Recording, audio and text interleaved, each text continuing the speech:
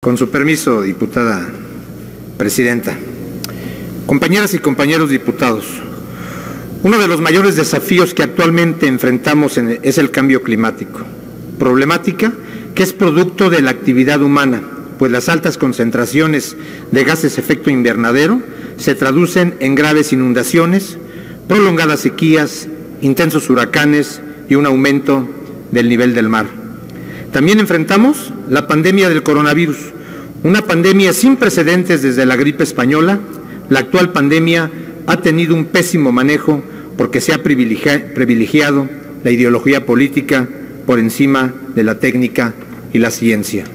De ahí que el peligro, el peligro de desastre siempre esté presente en nuestro país y debamos contar con un conocimiento más profundo del riesgo, el cual ya queda establecido en esta nueva ley General de Gestión Integral de Riesgo, de Desastres y Protección Civil, que en Movimiento Ciudadano votaremos a favor, porque debemos apostarle a una sociedad resiliente, una sociedad preparada que tenga la capacidad de enfrentar los desafíos de los cuales resulte fortalecida. Difundir la prevención en todos los rincones del país y apostarle a la gestión integral del riesgo son dos pilares fundamentales para el crecimiento y desarrollo del país, porque cuando nos referimos al riesgo de desastres, nos estamos preparando ante una eventualidad futura. La aplicación de la ciencia a la gestión de riesgos nos dará la capacidad para que los desastres naturales no interrumpan, interrumpan la vida cotidiana de las personas, pues lastimosamente han sido siempre los pobres los primeros en ser los más afectados ante una eventualidad.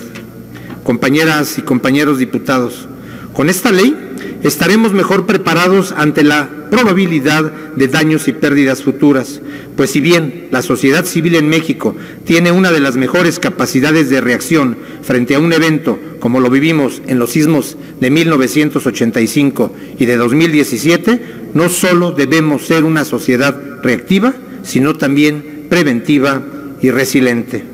Tenemos que mitigar y reducir y prevenir cualquier riesgo de desastre natural. Por ello, hace unos meses presenté una iniciativa a los artículos tercero constitucional para enseñar la cultura de la protección civil y la prevención de desastres con la finalidad de salvaguardar la integridad de la población, el patrimonio cultural, el medio ambiente y la infraestructura productiva, fomentando la solidaridad y la participación social. Hago votos porque la Comisión de Puntos Constitucionales pueda aprobarla a la brevedad para que dicha iniciativa complemente a la ley que hoy estamos discutiendo. Si invertimos en prevención con técnicas y conocimiento de vanguardia, también evitaremos que el mal manejo de los niveles del agua en las presas de las termoeléctricas de la CFE termine inundando, grandes superficies y poblados de bajos recursos. Lo vimos en Tabasco en 2007 y hoy lo volvemos a ver, pero lo ideal es que no vuelva a ocurrir jamás. ¿Ven por qué es importante apostarle a la prevención que a la reacción diputados de la mayoría? Se los pregunto a ustedes porque en el presupuesto que habrá de ejercerse el próximo año, ustedes diputados de Morena únicamente aprobaron 200 millones de pesos en el tema de la prevención. Una burla, sin contar que dentro de los 109 fideicomisos que también ustedes eliminaron, se incluía al FONDEM y al FOPREDEM.